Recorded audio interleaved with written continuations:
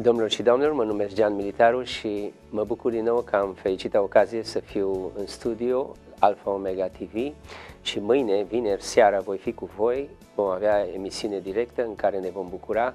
nu numai de celebrarea celor șapte ani de când au emisie pe satelit, dar de asemenea ca să facem rugăciuni pentru cei care au nevoie, pentru vindecări și totodată pentru cei care vor să simtă cu lucrarea aceasta. Așa cum spune Cuvântul lui Dumnezeu în Evanghelia după Ioan, în capitolul 4, în versetul 35, aș vrea să citesc aceste versete, zice Nu ziceți voi că mai sunt patru luni până la seceriș? Iată eu vă spun, ridicați-vă ochii și priviți holdele care sunt albe acum, gata pentru seceriș.